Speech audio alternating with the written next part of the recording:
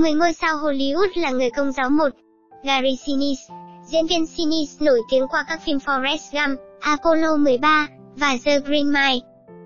Ông đã kết hôn và có 3 người con. Ông là Tân Tòng, được rửa tội vào năm 2010. Diễn viên này tham gia rất nhiều hoạt động thiện nguyện, đặc biệt là chương trình giáo dục cho 300.000 trẻ em tại Iraq. Mark Wahlberg Diễn viên, nhà sản xuất Wahlberg đi nhà thờ mỗi ngày, ngay cả khi phim đang trong giai đoạn bấm máy.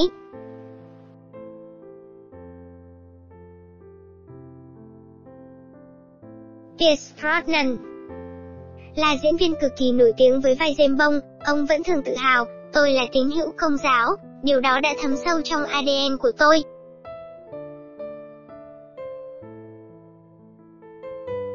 Al Pacino Tài tử này thường đóng các vai gangster.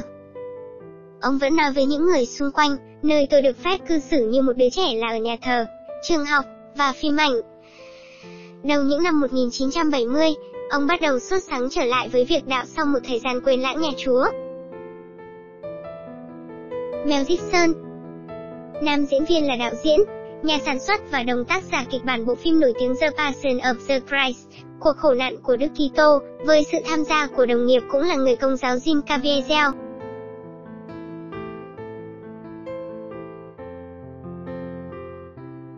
Antonio Banderas Diễn viên kiêm đạo diễn người Tây Ban Nha này luôn tham dự xuất sáng các buổi rước hàng năm, vào tuần thánh. Ông từng trả lời phỏng vấn tạp chí Paris Match của Pháp, tôi là một người công giáo,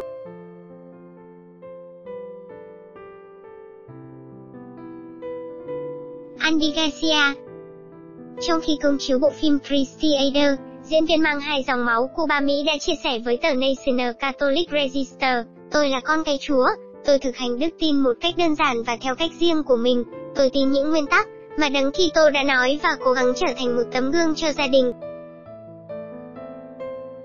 Martin Scorsese Ông là đạo diễn nổi tiếng, với bộ phim Silence nói về hai nhà truyền giáo dòng tên vào thế kỷ 17 ở Nhật Bản. Ông Scorsese đã từng gặp Đức Francisco và được ngài ngợi khen.